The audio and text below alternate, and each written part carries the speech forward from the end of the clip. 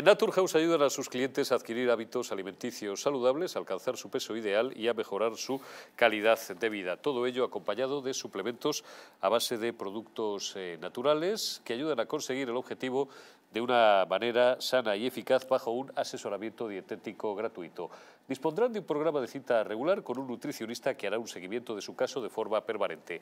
Será su guía durante todo el proceso para que consigan su peso saludable y será también su apoyo emocional. Su nutricionista irá adaptando su plan de, alimentación personalizado a medida que vayan alcanzando los objetivos y, avanzando en el tratamiento para asegurar que se mantiene su salud y alcanzan los resultados deseados. Pidan cita en su centro más cercano o si no, pueden hacerlo también en www.naturhaus.es. Bueno, oye, ¿qué os ha parecido esto, esto de Valdoví? Hablábamos antes en, el corte publicitario de si ese debate filosófico del siglo XVI, de si los perritos tenían alma o no, no, tenían, o no tenían alma, ¿no?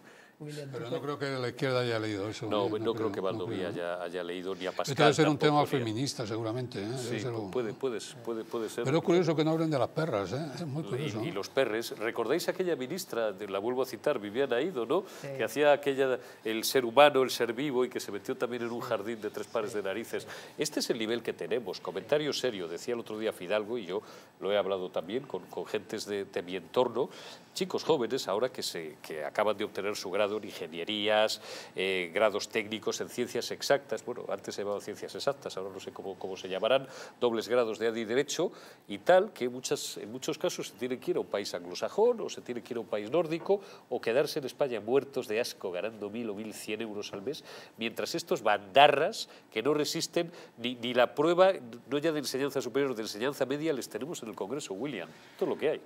Es es lamentable, esto es muy lamentable porque lo estamos viendo día a día, ¿no? Eh, un despropósito hoy y el que nos espera mañana es todavía peor, ¿no? Y pensar mañana el Congreso de los, de los Diputados eh, del pueblo español ocupado de esto, ¿no? Yo esta historia la conozco desde hace bastante tiempo porque eh, nosotros, y cuando digo nosotros digo los aficionados a los toros, bueno, pues saben muy bien que cómo hemos sufrido la persecución, la persecución de eh, los grupos animalistas y ahora asociados con esta izquierda, esta izquierda populista que lo que busca es perseguir nichos de, votos y utilizan eh, el tema del maltrato animal como argumento. ¿no? Entonces, nosotros que veníamos lidiando, y ya cuando digo nosotros concretamente, eh, yo presido la Asociación Internacional de Tauromaquia y con la Asociación Internacional de Tauromaquia y muchas otras de aficionados españoles, logramos el año 2013 la primera y única ley que hasta ahora se ha aprobado por iniciativa legislativa popular en España, que es la ley que reconoció a la tauromaquia como patrimonio cultural y material del pueblo español. A partir de ese momento, a estos señores la historia se les complicó porque sacamos el tema de los gustos y las cosas que tal, la sacamos a, eh, oiga, esto está protegido por la ley y usted tiene que respetarlo. Entonces, cuando ellos vieron que ya esto se les había complicado contra la tauromaquia, han ido contra la casa. Y contra la casa y concretamente la gran diferencia que existe ahora mismo con el Partido Socialista Obrero Español es que pretendían incluir los perros de casa en la regulación de la ley. y por supuesto, el Partido Socialista la ha excluido, por, entre otras cosas, ¿por qué? Porque los perros de casa, los perros de casa son los ojos del cazador, pero eso no es nuevo, eso ha existido desde hace muchísimos siglos. El hombre ha cazado y ha cazado ayudado y auxiliado se pretende prohibir la caza, ¿eh? se pretende prohibir la caza. Claro, quieren prohibir la caza como quieren prohibir los toros. un minuto y te debo palabra, Luis, y continuamos con este asunto, pero eh, no quiero hacer esperar a Ana Collado, diputada del Grupo Popular en la Asamblea de Madrid. Ana, ¿cómo estás? Muy buenas noches. Hola, buenas noches. Bueno, pues mira, nos has cogido hablando, bueno, hemos consumido la primera hora del programa hablando de, bueno, pues de, cómo esta ley eh, eh, del sí es sí y más de 30 violadores ya en la calle va a suponer sin duda la tumba política de Pedro Sánchez y ahora pues eh, hemos derivado también a, a, esa ley de bienestar animal que mañana tiene que pasar la prueba del Congreso. Vamos a ver, porque ahí también hay otra bronca entre socialistas por un lado y podemitas e independentistas por otro, Hemos continuado hablando de los toros y me acordaba yo, porque he oído hace unas horas a la presidenta de la Comunidad de Madrid, bueno, pues, pues cómo en la Comunidad de Madrid no tenemos ningún problema con los toros, porque aquí sí que se reconoce los toros como un bien de interés cultural y como algo que es propio y parte inherente a, nuestras tradiciones, Ana. Luego te pregunto por la ley del sí es sí, pero es que me viene de perlas que estés ahí, porque, porque he, oído esta mañana a la presidenta hablar de ese asunto. Aquí en Madrid no tenemos los complejos que tiene la izquierda.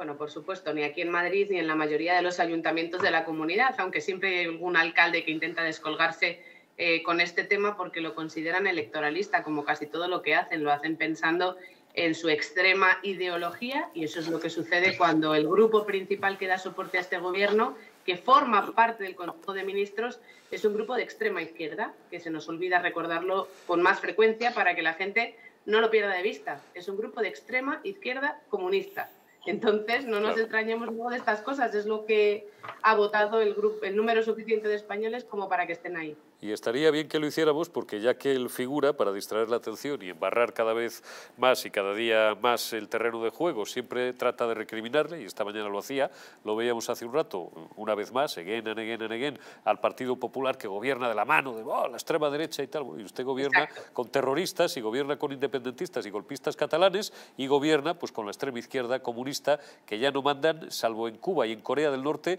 ya no mandan en ningún sitio. Ah, no, sí, mandan todavía en uno, en el Congreso de los diputados, en la carrera de San Jerónimo y en el gobierno de España.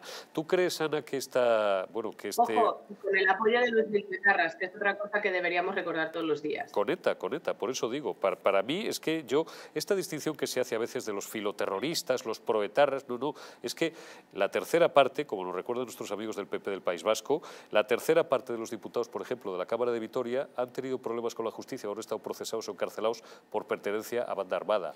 Es decir, son, son ETA, Mildu es ETA. El otro día alguien decía aquí en esta mesa, bueno, es que claro, habría que plantearse el debate de si Bildu y ETA son lo mismo. Digo, no, por favor, o sea, me da, porque este, este esta casilla ya la hemos superado hace 25 años o 30, aquello de si Herri Batasuna era ETA o no, o no era ETA. Oye, ¿tú crees que esto, por volver a la ley del sí es sí, que es el argumento principal, un día más, desgraciadamente, de la actualidad, eh, va a ser la tumba política de Sánchez? Hay 33 violadores ya en la calle y 448, nos recordaba antes Luis Pagar el dato, 448 sentencias revisadas.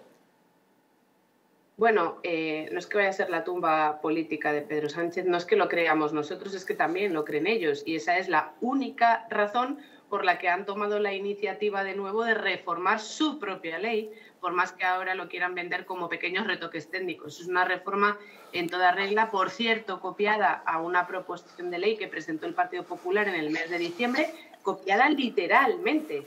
En lugar de sentarse con el PP decir, venga, nos hemos equivocado, lo siento, vamos a arreglar esto. El Partido Popular ha ofrecido sus votos para no tener que depender de Podemos, que son los que más enrocados están en esta posición tan extrema. En lugar de hacer eso, que es lo que el sentido común y la lógica del debate parlamentario invita a hacer, ellos siguen con su extremismo ideológico, niegan que en realidad están copiando al PP y de nuevo solamente acertarán cuando rectifiquen y copien las propuestas, en este caso del presidente Feijóo. Lo piensan ellos hasta el punto de que están tomando esta iniciativa y hasta el punto de que el propio Tezanos omite con su encuesta estrella sobre violencia sexual, omite preguntar por esta propuesta estrella del gobierno socialcomunista. Así es, eso es, eso es lo, que te, lo que te iba a preguntar, Ana.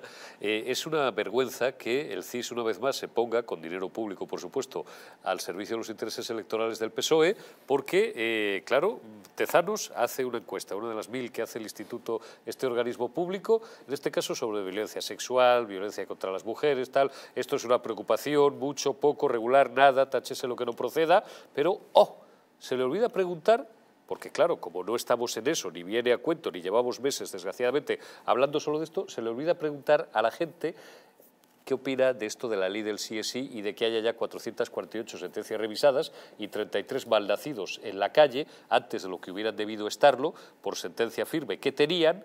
Pero eso sí, les pregunta si esto para ellas es un problema. Eh, bueno, claro, eh, llamar a Tezanos prevaricador me, me parece poco, porque insisto, si fuera un instituto privado, pero juega con pólvora del rey. Exacto, exactamente. Bueno, esto tampoco nos sorprende a estas alturas de la película, por desgracia, lo de que este señor utilice eh, los medios públicos para ponerle la alfombra roja a Pedro Sánchez eh, al exclusivo interés, interés de su agenda electoral. Y, con esta reforma, insisto, que trae causa únicamente no en el problema que las víctimas de todo esto tengan por ver a sus violadores eh, condenados en la calle. No, eso no es lo que le importa al gobierno de Pedro Sánchez. No le importamos las mujeres en, absoluto. Le importa solo él y su permanencia un día más en Moncloa. De ahí la prisa y de ahí que Tezanos le ayude con este capote de nuevo, mmm, curiosa omisión u olvido, que no lo es como por supuesto sabemos todos, pero además también curioso de nuevo el manejo que con la eh, conveniente actuación de Merichel Batet va a tener esta reforma en el Congreso, porque os adelanto que más o menos los tiempos dan para que la reforma se consume alrededor de nuevo del 8 de marzo. Y entonces, de nuevo, ellos eh, se querrán vender a la opinión pública como los garantes de las mujeres a esas a las que han agraviado con semejante despropósito social, jurídico, penal, con semejante despropósito que de verdad solamente hay una cosa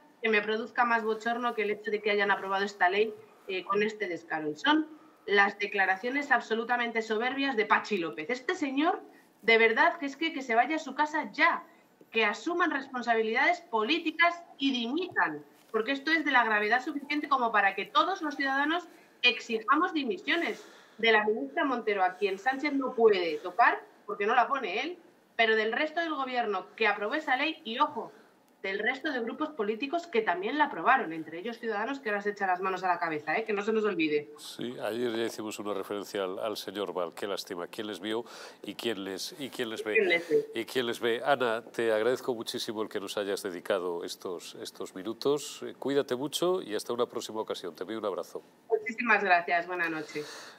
Bueno, don Luis Magán, pues eh, no sé si quiere usted añadir algo a si tienen sí, alma solo, los perros. Sí, solo dos pinceladas, solo dos pinceladas. Lili Bestringe hace grande eh, al sibilido de su padre, de Jorge Bestringe, quiere decir que es que son, son eh, los miembros de Podemos, algunos de ellos miembros que tienen unos altos cargos y unos sueldos excelentes, sí. formidables de, de la... De la Ángela Rodríguez, que la citabas antes, 123.000 euros entre, entre lo que cobra como número dos como secretaria de Estado y los 40.000 euros que nos hemos enterado hace unos días por OK Diario que le había puesto de, de plus Irene Montero, 123.000 euros. Va a poner, tu, bien, ¿eh? tienen, tienen, va a poner tu foto dentro de nada. ¿eh? Sí, tienen, tienen, eh, tienen esos excelentes, esos excelentes eh, sueldos y, y, y, parece que están haciendo política de asamblea de instituto, no de facultad, de asamblea de instituto. Es absolutamente lamentable. Y luego, con respecto a, a, a la petición permanente de, de, bueno, la obligación de un presidente de gobierno, y más un presidente de gobierno con estas características, es aferrarse a su sillón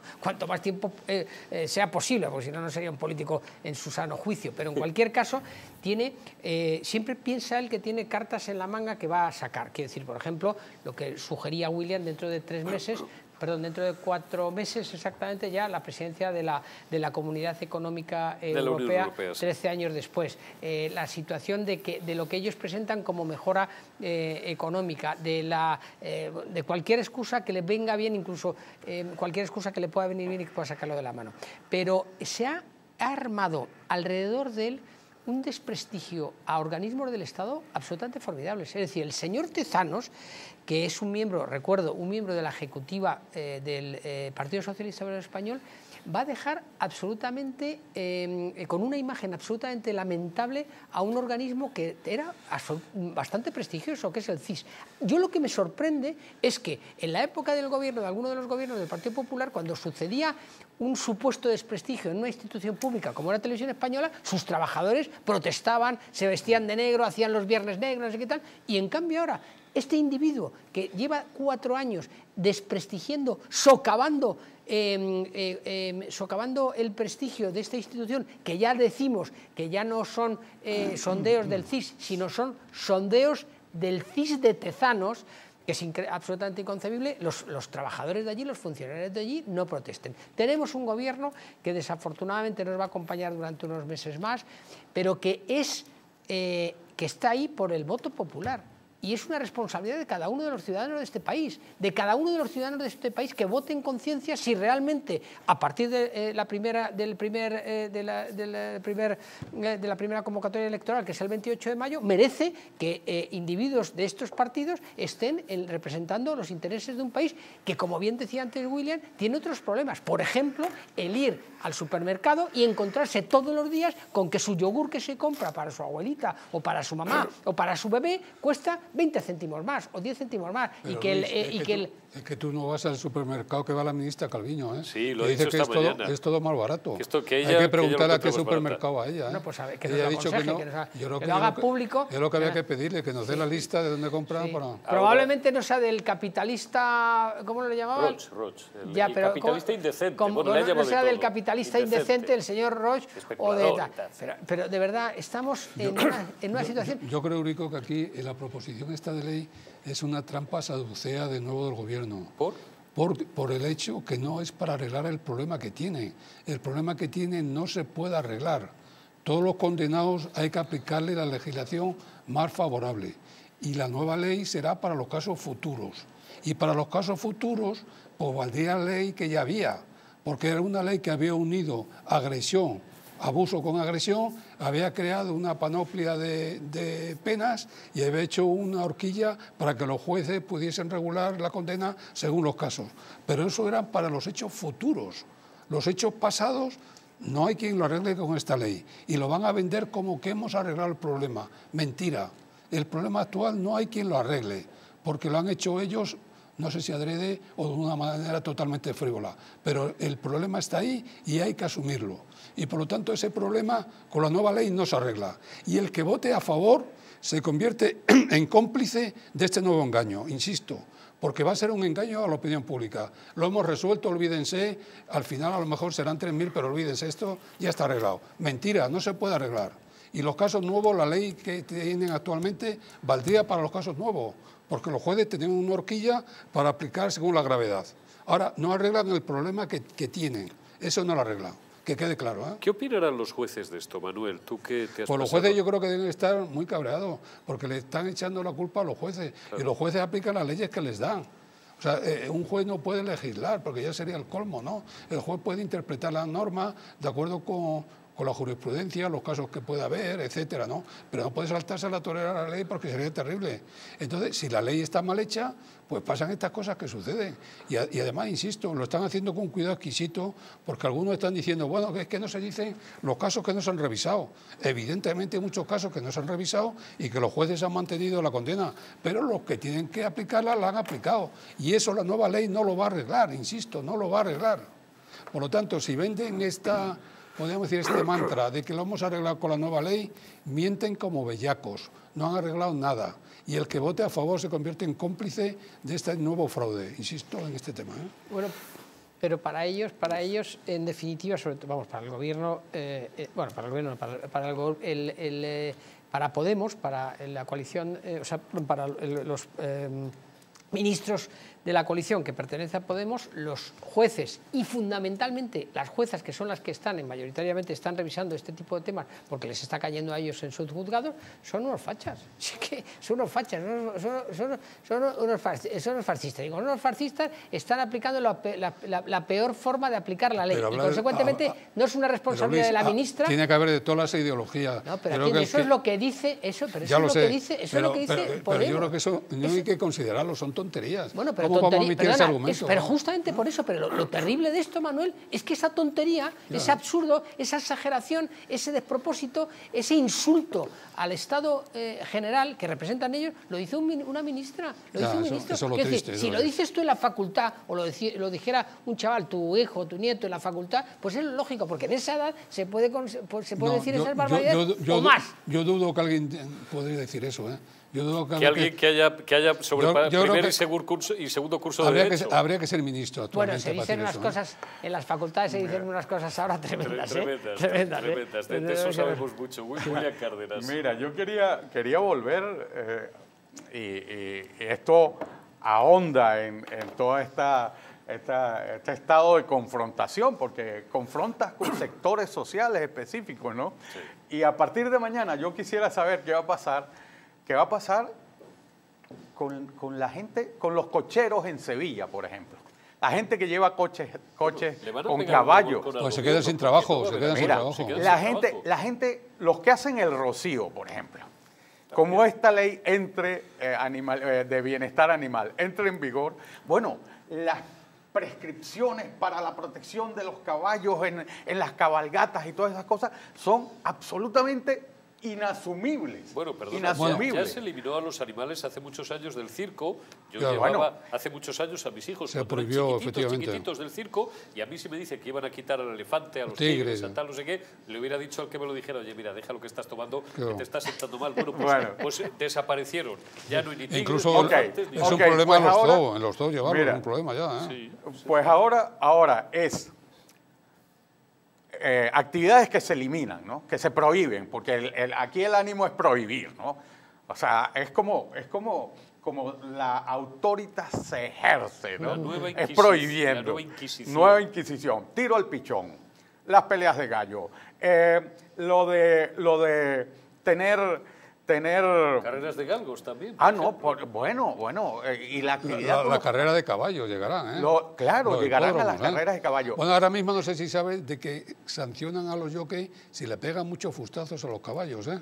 Claro. Cuando llegan a la recta final, si pegan más de un número de mustazos, les meten multa y algunos los ponen a pie, ¿eh? O sea, está limitado hasta el Pero número de fustazos. Bueno, mira, Está por el Jockey Club, está, Mira. está regulado, ¿eh? Y el- A lo que hemos llegado, ¿eh? y el régimen de multas, las multas que se establecen Por el tema del maltrato animal, van, la pri- el primer re- renglón va de 500 a 10 mil euros, cuando, cuando la, la causa, eh, cuando el maltrato Menor. es menor, es leve. De 500 a 10.000. Qué de barbaridad 500 a horquilla, 10 ¿no? mil euros. Pero, pero cuando es, eh, alguien considerará que es un poco más grave, bueno, de 10 mil a 50 mil euros. Y cuando ya el maltrato probablemente exceda a una cosa... este, Agredes a un unicornio, Claro, por ejemplo. entonces de, de 50 mil a 200 mil euros. O sea, ¿en qué cabeza cabe esto? ¿No? Esa Una barbaridad. Esa federación taurina es muy peligrosa por lo que estás diciendo, ¿eh? Mira, mira, no, mira, a nosotros, ¿sabes qué nos preocupa? Que el propósito de aprobar la ley sea mantener, mantener la exclusión de la tauromaquia, pero en el día menos pensado, Está claro, lo pueden quitar. está ah, claro. amigo, amigo, te la quitan. Mira, en esto, en esto hay otro sector social afectado, la gente que tiene, que vende No, su trabajo, mascotas, su trabajo, que vende mascotas, que tiene tiendas para vender perritos y de mascotas. gatitos. Bueno, acaban, acaban con Cancelado, acaban ¿no? con ellos. Y luego viene el que tiene mascotas. El que tiene mascotas, si las tiene, mm, tú tienes mascotas en el jardín de tu casa, las tienes que castrar a todas. Sí, sí, te lo- Ahí quiero ver yo lo a los antes, dueños ¿eh? de las mascotas antes, ¿eh? sometiendo a, a sus animales queridos a, a esa situación de castración obligatoria. Sí, sí. Y el que los tiene dentro tiene que registrar, registrar cada animal que tenga dentro de su casa. Claro. Y va a haber un registro para saber cuántos animales eso ya, tiene. pregunto O sea, desde la ignorancia, ¿eso no existía ya con el chip? Pues yo he tenido perrito hace muchos años y tenía chip. Tenías un chip, es, un, un- un- eh, es una inscripción, ¿verdad? Sí. Pero que tú la haces voluntaria, porque, Voluntaria, para voluntaria. proteger, incluso para proteger. No, por si se perdía el se- animal, se, también lo pierde o algo. localizar. No, no, no, ahora, ahora es una condición obligatoria. Es más, tú, si pretendes que tu animal se reproduzca, bueno, pues eh, mm, eso no lo puedes hacer. Hay un registro que va a regular los que tienen, van a tener la potestad de poder manejar la reproducción de animales. O sea, un control total Y una prohibición de, una so- cantidad de actividades. Sorprendentemente, una sociedad, la sociedad española, que cada vez es más proclive al cuidado de los animales. Yo, en mi barrio, Sí. eh, que es un barrio de señores mayores, de, de gente mayor que somos, y cada vez más mayor, que está gentrificado, como dicen eso, este, cada vez hay más perros, cada vez hay más perros. Es decir, antes quien tanto- tenía un perrito, ahora tiene dos o tres, Me parece que hay 30 y les cuida, y les protege, y les quiere. Es una barbaridad, creo. ¿eh? ¿Eh? Creo que somos casi como una España bis, el número que hay de, de mascotas. No, el ¿eh? índice de perros. No de perros, creo que hay una, per- perdón, un número impresionante. Manuel Bernaldez, que, que- que somos más, incluso. Hay, hay- perdón, que hay más perritos que, que- que habitantes. Más perritos que niños, seguro. O más Que- perritos más que perritos niños, que niños, lo sí. que no sé si Yo, es yo- yo habitante, he oído que pero vamos, 30, hay una mi- que proporción- 30 millones, me parece, 30 de de 30 millones, me ¿eh? Pero, pero eso es una realidad que vemos día a día y es verdad que en este país también hace años se cometían barbaridades. Cuando terminaba la época de caza veíamos imágenes que eran terribles Yo cuando creo- colgaban a los galgos. Creo que un día se van a revelar, ¿eh? va a ser otra vez la rebelión en la granja de Orwell. ¿eh? Hombre, y sobre Esto todo ser- he hecho todo esto por gente que está en un despacho en el Paseo del Prado, sentados y que que no, no tienen idea. pasan un día en el campo. No saben lo que significa. Piensa que la leche vi- sale del brinco. Bueno, que yo, creo, yo creo que van a prohibir la carne, van a prohibir el sacrificio, también, ¿no? va a prohibir la me carne, vamos a La ir... carne, bueno, ya el ministro Garzón hizo un intento eh, este, eh, propagandístico. Todo, todo eso arruina al país, ¿eh? porque en, en lo que hay en, en el campo ahora mismo es la agricultura, sobre todo en mi tierra extensiva, de carne, ¿eh? de, de vacuno. ¿eh? Eso lo arrasa como haya prueba de esto. Bueno, ya, est- ya está arruinada porque al ganadero ya, y hablábamos el otro día con Milagros Marcos, que es una diputada del Partido Popular, que está en la Comisión de Agricultura precisamente, pero bueno, es algo que ya lleva ocurriendo años. Al ganadero ya se le está condenando a, a- a prácticamente a sacrificar a la mitad de sus reses porque, porque eh, es más lo que cuesta el pienso al ganadero que el rendimiento que obtiene en virtud de una política nefasta que les ha aumentado los impuestos, no les llegan las ayudas ni las subvenciones, por ejemplo, a fertilizantes, a piensos y otras cosas que les han prometido, y entonces ya sacrifican el ganado para carne, porque ya no les es rentable, por ejemplo, yo en, en mi tierra el vacuno de leche toda la vida se ordeñaban vacas, pues, pues esto, esto ya ha pasado la historia. que- creo que la caza es la que tiene más licencia después del fútbol, me parece. ¿Después de? No, eh, después del fútbol. La ¿eh? federación. Me parece que la federación, la segunda o la tercera. ¿eh? Y además lo que genera de riqueza, pensemos las monterías. Hay muchas zonas en España que la montería Es una genera riqueza, pero además eso está Y regulado claro, toda la como vida Una y- una reala de perro, una jauría, le va a dar la protección que exige esa ley. Toda la vida ha existido vedas, son- eh, son- son- salvo la caza furtiva, que toda la vida ha estado, toda la vida de Dios, eh, perseguida por la Guardia Civil y por el SEPRONA, el Servicio de Protección de la Naturaleza y tal, pues la gente cazaba pues cuando se podía cazar y cuando Pero- hay veda, pues la gente no Pero cazaba. la percepción, la percepción de los, de los ministros eh, de Podemos es que todo ese blo- todos esos Eh, eliminarlo cazadores, todo. todos esos usuarios Son de la calle y tal, asesinos, son- porque, son- no, perdón, son votantes de Vox. Estoy absolutamente convencido que lo piensan, son que son la claro, ultraderecha claro, claro, también, como los jueces. Es posible que los eso jueces. sea los que sustituyan a los animales para llevar los carros del rocío que decía el compañero. Eh, Habrá que llevar a los fascistas para que lleven los carros. ¿no? Está claro. Remáteme, William, con una idea que me voy, que me voy a publicidad. ¿Qué se puede hacer contra esto? No, contra esto.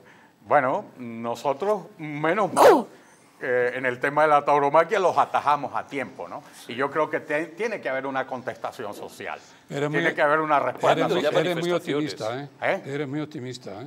No, no, no. En el tema, en el tema de los toros. Muy optimista sé- te veo, Sé ¿eh? que no, no, porque sé en dónde estamos parados. O sea, a- eh, frente a la tauromaquia encontrarán siempre la resistencia, la resistencia de, de los aficionados a, a- a la fiesta de los toros. Pero en el mundo, en el, en el resto del mundo, de- del mundo eh, que, se, que se maneja con animales, bueno, pues en, el domingo pasado hubo una manifestación, una, una manifestación en, en Cibeles de, de la gente que está que, que tiene tiendas de animales. Pero se empieza O sea, a contagiar en América también ese movimiento. ¿no? totalmente. En México creo que ya no, empieza. no, es que en América, fíjate, el efecto de demostración que causa esto en América, ¿no? Eh, Cuando empezaron aquí en, Cantal- en Cataluña, Le van a prohibir los toros en México, Sí, en no, Colombia, en Colombia. mira, es que de los ¿no? cinco países taurinos que hay en América, Venezuela, ¿no? en las capitales de cuatro de esos países han prohibido los toros. Y si no los han prohibido, por lo menos han utilizado Sí, artimañas para, para dejar. México, no hay toros.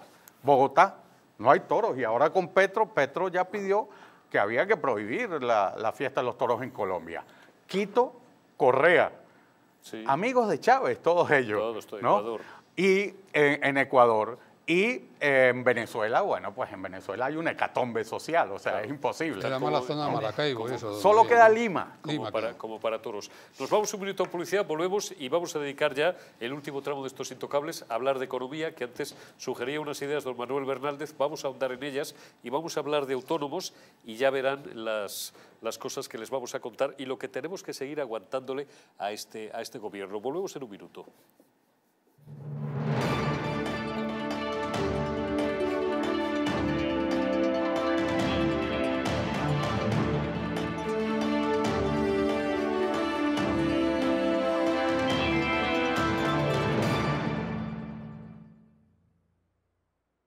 Naturhaus es el mejor método para perder peso de forma saludable y sin pasar hambre. Desde la primera visita, una asesora te enseñará a cambiar tus hábitos hasta alcanzar tu peso perfecto. Lo conseguirás gracias a complementos alimenticios a base de extractos naturales y platos deliciosos. Apúntate ya en tu centro Naturhaus más cercano y online a través de naturhaus.es. Naturhaus 30 años de experiencia en nutrición y dietética. La presencia del colágeno en la composición de huesos, piel, ligamentos, cartílagos y tendones es imprescindible para frenar su deterioro. Sin embargo, a medida que envejecemos, su producción se reduce. Colacel Antiox de Mundo Natural combina en una misma toma colágeno hidrolizado puro, antioxidantes, ácido hialurónico y vitamina C que contribuye a la formación normal de colágeno. Haz del tiempo tu gran aliado. Colacel Antiox. Estás a solo unas horas de que para farmaciamundonatural.es te haga llegar tu pedido con regalo incluido. Más de 25.000 productos de las principales marcas. Te esperamos.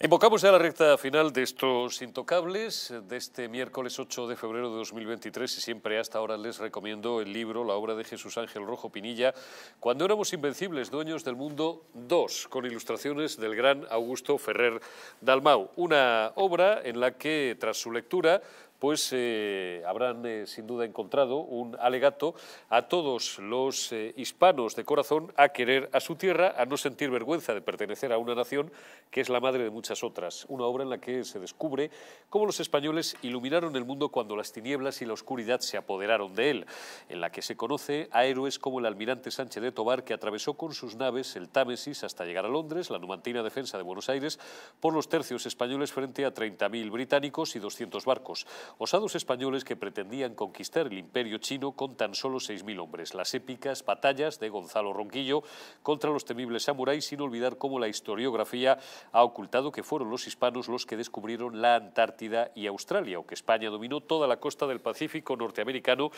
llegando hasta Alaska o la gesta de los 3.000 soldados del invencible Tercio de Sarmiento y su épica resistencia en Castelnuovo contra los 63.000 soldados del temible Barbarroja. Cuando éramos invencibles dos, dueños del mundo de la editorial Gran Capitán. Y eh, les recuerdo un día más que es una obra que continúa nada más y nada menos situada en eh, el puesto número uno, en el primer puesto eh, de ventas en Amazon, en el apartado dedicado a Historia de América. Y tengo yo el teléfono móvil en la mano y les voy a explicar por qué. Porque esta última media hora la vamos a dedicar a eh, hablarles de economía, hablarles de autónomos y hablarles, pues al final todo tiene que ver del coste de la vida, de esa inflación disparatada. Esta mañana hacía ante referencia a don Manuel Bernaldez a que Nadia Calviño, en una de las preguntas, que le hacía la oposición, a la vicepresidenta económica del gobierno, se jactaba de que bueno, los alimentos tampoco estaban tan caros y que habían detenido su, elevadísimo coste o el crecimiento del precio que han alcanzado algunos productos de primera necesidad porque ella ya iba notando, ella eh, ya se había dado cuenta, la, figura de que iba a comprar. Ustedes imaginan a Nadia Calviño con las bolsas de, no voy a dar nombres de grandes superficies comprando, bueno, pues con siete escoltas detrás, ¿eh?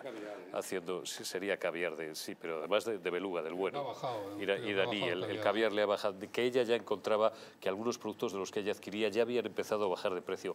Tiene, tiene narices. Bueno, vamos a empezar hablando de autónomos, este último bloque económico. Idme poniendo, por favor, los pantallazos. Tenía yo el móvil en la mano, los iba a leer del móvil, pero a ver si soy capaz de leerlos desde aquí. Esta mañana el ministro Escribá, que estaba en el Congreso, le han preguntado por... No, vamos a los pantallazos, ahí está. Le han preguntado por la problemática de los eh, autónomos y eh, el ministro Escribá decía que estamos eh, mejor que nunca. Bueno, voy a localizarlos, los tengo aquí y ustedes lo ven en sus pantallas, tengo que coger el móvil por si no lo veo. Decía Eduardo Garzón eh, esta mañana, el mundo y la calle, en referencia a Daniel Lacalle, tratan de alarmar diciendo que en enero de 2023 se perdieron unos 20.000 autónomos y que eso se debe al cambio en las cotizaciones sociales. Pero es que todos los eneros Dice este tío que es profesor de economía en la Universidad Autónoma, no sé, no sé qué, coño enseñará en la Universidad Autónoma. Todos los eneros hay pérdidas importantes de autónomos y las cotizaciones solo han cambiado este año, seguía diciendo el figura. ¿Por qué en enero, sigue diciendo Garzón, se pierden siempre tantos autónomos? Y se contesta a sí mismo, oh, por la Navidad. En diciembre se dan de alta muchos autónomos o les dan de alta y mezcla un concepto que no tiene nada que ver, falsos autónomos, porque prevén hacer negocio en Navidad, los malos, los capitalistas, el empresario, ya saben. en enero, claro, no, no, ahora, ahora verás. En enero, cuando ya han hecho el negocio, se dan de baja. Ocurre la paradoja de que cuanto mejor vaya la economía y más negocio se puede hacer, más autónomos se darán de alta en diciembre y más se darán de baja en enero. Por eso, ustedes vayan siguiendo el simplismo del, del individuo. Por eso en 2019, con crecimiento importante del PIB, también se perdieron en enero 20.000 autónomos. Así que el mundo y la calle, Daniel Lacalle, manipulan claramente. Que haya pérdida de autónomos en enero no quiere decir que sea una mala noticia ni tiene por qué deberse al cambio de cotizaciones sociales. No es información objetiva y rigurosa, es manipulación para crear alarma social. Claro, le ha faltado a, nuestro buen amigo Daniel Lacalle, le ha faltado tiempo para contestarle. La máquina de mentir en otro episodio de Vergüenza Ajena, dice Daniel. 43.700 autónomos menos desde el 30 de junio. Contra hechos no valen opiniones. 20.800 autónomos menos en enero, la peor cifra desde 2012. Dice Garzón que eran falsos autónomos, o sea, que han ido al paro y no sabe lo que es la inflación ni, ni, un, ni, un, porcentaje. Le sigue demostrando la calle, la realidad es que si fuese regularizar, entre comillas, regularizar falsos autónomos, habría aumentado las horas trabajadas, el empleo y bajado el paro, y no al contrario. Son, dice Daniel Lacalle, una máquina de mentir sin la más mínima vergüenza. Cita datos eh, de la principal organización de los autónomos, que es ATA, efectivamente. Garzón sigue diciendo la calle que en 2017 decía que no se crea empleo, se trocea, entre comillas. Esta es la ciencia económica del personaje, por 2% menos horas trabajadas. Ahora habla de récord de empleo con un 7% menos de horas trabajadas que en el cuarto trimestre de 2019 y vuelve a mentir. Estas son fechas en las que el número de autónomos afiliados era mayor que el actual.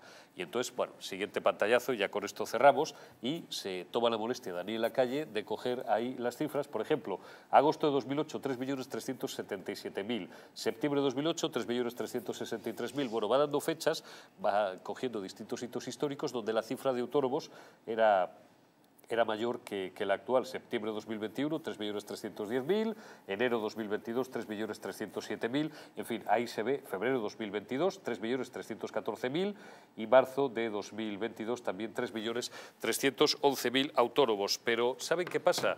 Que a este gobierno, como ni tiene vergüenza ni la conocen, les da absolutamente igual, porque si no, escuche lo que decía esta mañana el ministro del ramo, el señor José Luis Escriba.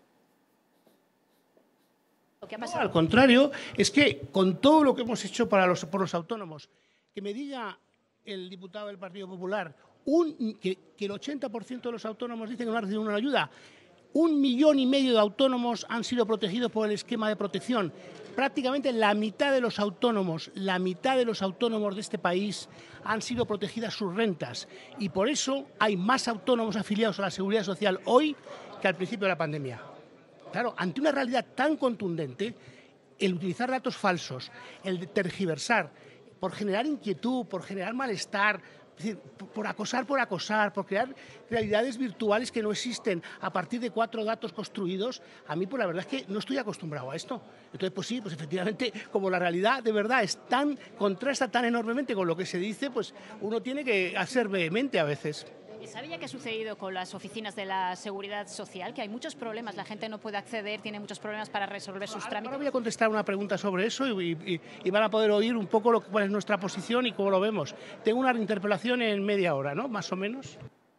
Vale, ni tienes vergüenza, escriba, ni la conoces. Les has subido una media de 100 euros a millones de autónomos las cotizaciones por tus eh, morenos.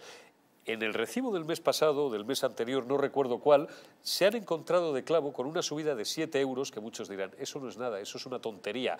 Multipliquen por 3.900.000 autónomos que el Ministerio de, eh, como se llame ahora, porque les cambian los nombres también para que se forren sus amigos, los de las placas, el Ministerio responsable también de la Seguridad Social no ha explicado por qué. Han cometido un error a la hora de calzarles las cotizaciones sociales del último mes, un error informático, dicen, o la abuela que fuma, y ahora les tendrán que devolver el dinero cuando Dios pintó a Perico, cuando les dé a ellos la gana, y no han dado una explicación razonable. Y dice, se escriba, que los autónomos ahora están, estamos mejor que antes. No te lo crees ni tú. Los que estáis mejor sois gente como tú, que seguís viviendo del pesebre cuando en la vida, y eso que escriba es de los romanizados, este tiene estudios. A este cuando le nombraron ministro dijimos, menos mal porque este tío sí que sabe, recuerda don Manuel, Luis y William cuando era responsable de la autoridad fiscal independiente. y mira lo que se ha convertido. del PP este, este es un converso. ¿eh? Este, este son los peores, son los peores. Pero es curioso que la diferencia entre la España real y la España oficial cada vez más grande porque solamente hay que oír lo que dicen los sectores de autónomos, a Lorenzo Amor, por ejemplo, el número de bajas que hay cada día de autónomos y la cifra que dice este, este buen señor. ¿no? Y luego además es increíble porque utiliza un plural majestático. Les hemos protegido. Se cree el Papa o el oiga, argentino. Usted no ha protegido a nadie. Se han protegido el propio colectivo autónomo con sus cotizaciones. ¿O de dónde sale la cotización? ¿De su bolsillo? Ponga usted algo entonces de su bolsillo y utiliza el plural. Pero mientras tanto, cállese, por favor. Claro, está claro. Ahora os doy la palabra, pero vamos a escuchar porque Elvira Rodríguez, diputada del Partido Popular, responsable de este área, pues eh, denunciaba también en la tribuna de oradores lo mismo que le preguntaban al ministro Escribá, el caos de la seguridad social. Elvira Rodríguez. La seguridad social ha colapsado. Sus oficinas están bloqueadas. Es más difícil conseguir una cita que que el presidente del Gobierno, Pedro Sánchez, diga una verdad. Recordando a Mariano José de Larra y a la Administración decimonónica, la Seguridad Social está diciendo a los trabajadores que preguntan por las condiciones para poder retirarse que hagan el favor de jubilarse mañana, el mes que viene, o vaya usted a saber cuándo. No lo digo yo, solo lo estoy leyendo. Son los subtítulos de un artículo llamado el colapso de la seguridad social que firma un clásico de la materia en el periódico Salmón de más tirada nacional este último lunes. Eh, en, expansión, pero vamos, no, hace falta leer la prensa económica, aunque, aunque suele ayudar. Yo creo que Escribá ya no la lee, porque me dicen que además en las distancias cortas, sus colaboradores, eh, pues se tienen que comer unos cabreos y unas subidas de tensión del personaje, que debe ser bastante soberbio, dicen. Esto no es un insulto, ¿eh? yo digo lo que a mí me llega y que, que no entiende cómo, cómo, le critican y cómo le zayeren con todo William lo que está haciendo por nosotros, por la chusma, por los autónomos, por el pueblo llano. Tiene razón Manuel viven en una realidad paralela estos tíos y lo peor es, que además no solamente nos, nos, están arruinando, sino que insultan diariamente a nuestra inteligencia y, bueno, pues poco más o menos que les tenemos que rendir pleitesía. Como si tuviéramos, como si no tuviéramos memoria, ¿no?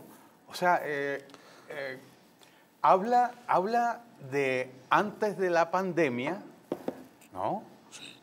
Para, para referirse a una situación bollante. Era el paraíso, parece. El sí, sí, pero omite lo que hicieron durante la pandemia, con esos confinamientos inconstitucionales ¿no? Porque Pero ya lo ha dicho. Ni un solo mes dejaron de pasar los impuestos y dejaron de pasar las cotizaciones. Y abandonaron a los autónomos. Si un sector. Aunque tus ingresos se redujeran a cero. Si un sector de. el segmento más débil, además de la economía. Débil de la economía, los emprendedores. Bueno, ¿cuántas empresas no tuvieron que cerrar con la actuación de todos estos señores? Ahora, ahora viene a pretender eh, eh, er- erigirse como, como el, el salvador de, de los autónomos, cuando, cuando todo lo contrario, los autónomos han sido sus víctimas. Sus víctimas, además, además tiene un, gravísimo problema este señor, ¿no? Porque el que le está siguiendo los pasos es nada más y nada menos que Daniel Lacalle. Y Daniel Lacalle conoce perfectamente toda, toda esta situación y lo, lo- ha dejado completamente al, al descubierto, ¿no? Estas, estas 20 mil, 20 mil, este, eh, estas cifras de 20 mil autónomos menos. 20.700. Eso es, eso es para cualquier sociedad, eso es un drama. Eso es un drama terrible, ¿no? Los han tratado de engañar con señuelos de tarifas planas, de cosas de esas, y luego te suben, te suben, una vez que pasa el, el- el periodo de la tarifa plana, bueno, te agarran con, con, una- con unas tasas que te, que te rompen, ¿no? 300 euros la, la menor, ¿no? 300 euros y de ahí en adelante. No, no, O sea que- 300 era la menor hasta hace unos meses, 280 y tantos, 290. Ahora la menor te encuentras con 375, 380 euros al mes. Claro, Ha claro. subido prácticamente 100 euros Claro. la, la- la cotización Claro. mínima. Luis, ¿tú, tú qué opinas de, de- Sí, de- bueno, de cómo está la eh, situación so- de este so- colectivo? Solo varios datos. Por ejemplo, hay eh, más o menos en el 22, en 2022 hay como 3 millones y medio de funcionarios públicos eh, en España.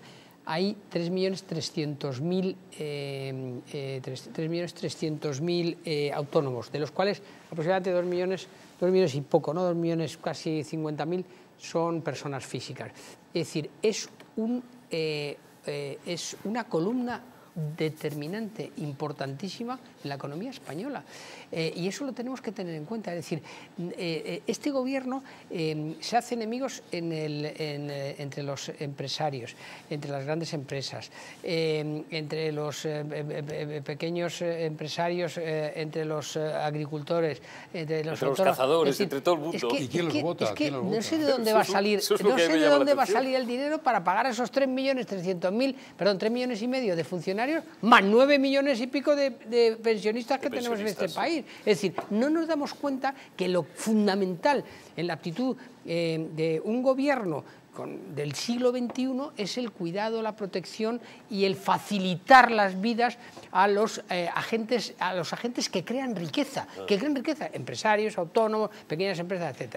Y con respecto a lo que contabas de la seguridad social, es cierto. Es decir, yo tengo varios amigos, conocidos, que se están intentando jubilar desde hace dos meses y no pueden porque no tienen No hay cita. no tienen, no tienen eh, respuesta de la seguridad social porque no les dan cita, no les, dan, no les permiten eh, eh, hacer. Esto es el resultado también un poco del, de la- del del cuello de botella que ha ocasionado, que ocasionó en su momento el COVID. Es decir, por una parte el COVID y Pero por ya otra ha parte. pasado el tiempo ¿eh? y estamos Sí, en una hace mucho- sociedad. Nos sí. hablan luego del 5G Sí, sí, y del pero se han cogido, 2.0 y el sí, 180.0 pero, coño, sí, eh, pero Eurico, se han, cogido, se han cogido muy malas, eh, muy mala praxis, es decir, no solo, es decir, la responsabilidad fundamental es en la cúspide, es decir, el gobierno nacional, pero también hay una responsabilidad en el ejercicio diario de la función de cada funcionario y ha cogi- se ha cogido muy mala, muy porque mala, hay muy algunos, Es tan hay algunos, y sabemos de lo que hablamos, que no han vuelto a pisar una oficina, Claro. y miento Pero- o no miento, pero- desde el COVID y siguen tele... ¿eh? Pues, pues Eh, esto. eh, Eurico, pero hay, Lo situa- siento, pero es hay la verdad. situaciones que son esperpénticas. Para conseguir una, una cita para la firma digital, esto es como una lotería, conseguir una cita. ¿Por qué? Lo lleva prácticamente la oficina de la agencia tributaria. Y para que conseguir una cita tienes que echar casi imposible prácticamente. Lo tenían que Pero eh, para los meter al ayuntamiento, las oficinas municipales, tal, agilizarlo. porque madre, eso lo es, es un requisito que te Que te exigen llega ya la carta por tres en muchos trámites te exigen la firma digital. Pues para conseguir la firma digital es una auténtica lotería. El día que te dan una cita, estás satisfecho, me ha tocado lo gordo. Lo cual es un, un- un ejemplo de lo mal que funciona la administración española. Bueno, eh, está, las- es- es- está lo, que, lo que comentas, Manuel, que cuando tú llegas a una institución, a una administración, y de, de pronto te responden rápidamente, ágilmente el funcionario... felicitas. Le felicitas. Claro. le un felicitas. abrazo. Es decir, claro, no, no, no, Claro. casi saltas, porque lo haces telefónicamente y no puedes. Si no, yo he llevado, alguna vez les he, les he llevado un, poco- un, un dulce, Sí, sí, sí, porque sí. es que me ha parecido Sí, sí. sorprendente. Sí, Me ha incluso- sorprendido Te han saltado las cuando lágrimas. te- claro, cuando tenía que ser lo normal. Exacto. Incluso lo le agradeces normal. lo amable que han sido, que no te han agredido ni nada. Claro, es increíble. claro, vamos, ¿eh? o que no Es te has dicho, vaya usted usted hacer puñetas. Y déjeme en paz, pero no me moleste que esté haciendo... Entonces, pero eso, eso es una responsabilidad no del gobierno, también es una responsabilidad individual. Es decir, el ejercicio del trabajo, del trabajo público y del trabajo de cualquier, de cualquier persona tiene que ser un ejercicio eh, basado en la responsabilidad del individuo, es decir, que tiene que darse cuenta de que su función es en su, en su, en su, o sea, en su área de responsabilidad es fundamental. Ahora, no, no son conscientes de estos problemas. Por ejemplo, lo difícil que es en España obtener una firma digital, obtener una cita en la Seguridad Social, obtener una cita... No, no son conscientes de esto y que tendrían volcarse en atender al ciudadano. Pero, pero fíjese, fíjate, Manuel, eh, eh, ya no el, o sea, que decir, la digitalización eh, el COVID y la actitud eh, algunas veces deplorable de determinados funcionarios, tú imagínate la incidencia que puede tener en gente que ya, que, que, que ya está fuera de circuito. Es No, no, decir, la gente tirado- mayor... han la tirado la gente- toalla, la gente, toalla. claro, pero la gente mayor que tiene No. que tener alguna... que tiene que realizar alguna gestión... Tiene que pedir ayuda. No, no, son puede, sujetos del no puede, engaño. es son absolutamente sujetos del engaño, tienen que recurrir a gente que los puede engañar, ¿eh? Porque están indefensos totalmente. Exactamente, William, que te veo ahí tomar notas como un descosido. Este, Es- es- esto, es, esto es un desastre. Todo lo que habría que hacer con los fondos europeos, por ejemplo, ¿eh? con la- Eh, todo lo que habría que hacer con los fondos europeos, ¿eh? De todo lo que habría que hacer Hombre, con los y, fondos y los europeos. 3 millones, vuelvo a repetir, son 3 millones 500, o sea, si no me equivoco, en la, en la última EPA teníamos dos, por encima de los 20 millones de cotizantes, por decirlo de alguna manera. De los 20 millones de cotizantes tenemos 3 millones 500 mil funcionarios públicos, que eso supone, No. si no me equivoco, más del 10%. No, O sea, hay- hay el regiones- 17%. hay regiones que ya El- son- 15 o 17%. Hay, re- hay voy- regiones que el empleo público es mayoritario ya, ¿eh? Sí, no, y este mismo personaje, el tal Garzón, se jactaba, recordáis, no hace mucho tiempo, de que ya había casi 21 millones de personas, ahora recuerdo el dato porque lo dijo él, 21 millones de personas que vivían del Estado, que vivían de un sueldo público, como si esto fuera Cuba, o sea, como si ese fuera el Estado ideal. O sea, Mira. este- este- esta es la gente que nos y, gobierna. había- y- y Este el otro, y otro en estos días ha dicho que menos mal que esta crisis, que en esta crisis, que durante esta crisis ha estado al frente de la crisis el Partido Socialista con sus virtuosos aliados, ¿no? Sus virtuosos aliados. Menuda barbaridad. O sea, estamos, España está sufriendo, está viviendo una situación, a, la- a veces, a veces los árboles no nos dejan ver el bosque, pero el bosque, el bosque tiene problemas, claro. y- Hacía- y problemas muy serios. ¿no? Hacía referencia antes Luis, Luis Magán, en los poquitos minutos que nos quedan, eh, las ¿quién va a pagar las pensiones? 9 millones 100 mil, 9 millones 200 mil 200.000 personas, o lo que llaman los economistas los estabilizadores automáticos, que es básicamente el subsidio de desempleo. Las pensiones es siempre el- la parte del león mayor del gasto público y, por tanto, los presupuestos generales del Estado. ¿Cómo? Y además es que me ha venido a la cabeza el dato porque la otra noche me, lo estuve trabajando eh, para hacer otra cosa que no tiene nada que ver con esto y lo único que nos conserva Dios bien es la cabeza. 28.600 millones al año solamente es la cifra de los intereses de la deuda pública del Reino de España. ¿Por qué digo esto? Porque las pensiones en España, cuidado, y en Francia, donde tienen un polvorín social de tres pares de narices, y en la mayoría de países de nuestro entorno, se pagan contra deuda.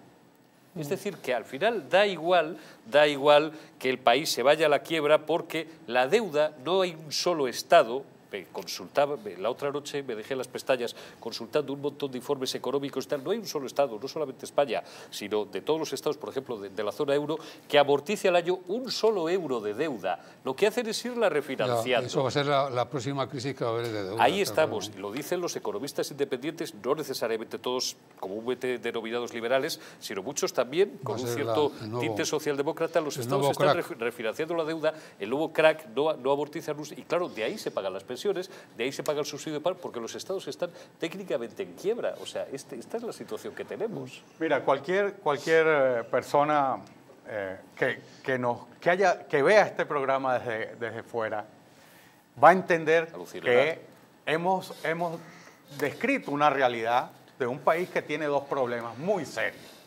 Tiene un problema de libertad, de libertades, de lucha por las libertades, y tiene un problema de recuperación económica dramático. Yo creo que eh, es, es eh, dentro de ese... eh, Sí, pero, pero perdóname, William, ese problema, el segundo problema que tú dices, que es eh, tienes toda la razón, no solamente es un problema del gobierno, sino es un problema de responsabilidad social. Es decir, es un problema de responsabilidad de la sociedad. Es decir, no podemos estar pidiendo permanentemente al Estado todo. No podemos. Es decir, lo que la frase famosa que decía el señor Kennedy, eh, piensa... No pregunte lo que puede hacer el Estado por usted. sino, Exacto, claro. sino lo que tú puedes hacer por tu país. Hombre, seamos responsables. Esa responsabilidad es colectiva. Es decir, tenemos todos una responsabilidad, cada uno en su área, de, de su área, en su espacito, en su espacio que puede ser así o puede ser así, pero que seamos responsables en que tenemos que tutelar, por, sobre todo los que somos eh, mayores y los que son eh, mediana de edad, para nuestros hijos y para nuestros nietos, para que encuentren una sociedad que todavía les avale y que, y que, y que les permita tener un grado de, de- de- de seguridad y de satisfacción como la que hemos vivido nosotros en este país, que en los últimos 40 años ha dado un cambio, bueno, en los últimos 40 años y en los, años, en los últimos años de, la, de, la, de, la, dictadura, que dio un cambio formidable por el ejercicio y la responsabilidad de todos. Allí la gente, yo me acuerdo de mi padre, que en esa época había gente que tenía dos empleos y tres empleos y, tenían tiempo para dedicarse a la familia, tenían tiempo para conseguir dinero para comprarse su pisito, su pisito en la, en la playa, hacer una vida eh, social y una vida eh, que en- en esas circunstancias y en esa época fue una vida absolutamente feliz. Es una responsabilidad no solamente del gobierno, no solamente del señor Sánchez o del señor Feijóo cuando venga, sino es una responsabilidad colectiva, que seamos responsables de que tenemos que cuidar, tutelar y apoyar este país para que sea, para que se sostenga y sea mejor. Somos 47 millones de ciudadanos, si no me equivoco, 47 millones de ciudadanos. Es decir, bueno, pues esos 47 millones de ciudadanos, cada uno con su peculiaridad y tal, que todos empujen un poco para que cada vez seamos mejor nación. Además, un Estado que cada vez recauda más. O sea, las cifras de con- con- recaudación son escandalosas. ¿eh? Las cifras de recaudación fiscal, aunque solo sea por el efecto de, la inflación, han subido eh, un 12%. Eso es así. Eso sí que es ¿Qué está haciendo beneficio que dio del cielo. ¿eh? Claro. Es un beneficio dio del Beneficio cielo. creado del cielo. Cuando Feijóo hace unos meses pedía, proponía o, exigía o instaba al gobierno a, que Deflactar la tarifa, a deflactar la tarifa del IRPF y le acusaba inmediatamente la propaganda gubernamental y los medios del régimen. Lo que de había pasado en Inglaterra, de- de- dijeron. de- sí, pero es que en Inglaterra lo, lo que hizo esta, esta pobre mujer, que se la llevaron por delante Ahí se aumentó en, el gasto y en bajó seis los semanas, impuestos. eh, era Duró la cuadratura del círculo. Claro, eh, era efectiva- Era imposible. Efectivamente, que eso, que eso era imposible. Pero gasto. no pedía, decía, "No, es que ya está la derecha pidiendo bajar impuestos. No, bajar No, impuestos no. pero sí, Oiga, es una recaudación eh, que se encontraron llovida del Pero se cielo. llamaron un pequeño retoque. De- dele usted un poquito de respiro a... Ya, amigo, pero es que es un dinero que te cae del No, lo malo que se respira puedes pensar. Y además, malo, es verdad, y, y ya sí que nos- ahora, estoy, ahora sí que ya estoy fuera de tiempo, hace unos minutos no, pero ahora estoy fuera de tiempo. Claro, eh, mucha gente, y a veces esto lo, lo aclaramos, los que tenemos algún conocimiento de la estructura fiscal del Estado español, eh, la mayor fuente o la, la parte más grande de la tarta fiscal en España, por ejemplo, no es el IRPF, es el IVA. Y la imposición es directa, pero básicamente el IVA. si Mm. Sube la inflación, claro. y es el impuesto que pagamos todos por igual. Se decía siempre el paquete de tabaco del llorado botín, y cuando va el pobre a comprarlo, pues que, que les cuesta lo mismo, claro. Exacto. Pero, Bueno, pero menos- a uno le hace mucho menos menos daño el que a otro. supermercado al que va el gobierno. ¿eh? Menos a los supermercados son los que van a de Calvillo. Luis Magán, muchísimas gracias. Gracias a ti, Un- Rico, una semana gracias. Un más. placer. William Cárdenas, Placer. muchas gracias. Muchas gracias, tío. Un placer. Y Manuel Bernández, como siempre. Buenas noches. Gracias. Les dejamos con el mejor cine y mañana será jueves 9 de febrero y volveremos. Volveremos en Los Intocables. Cuídese y hasta mañana. Bueno.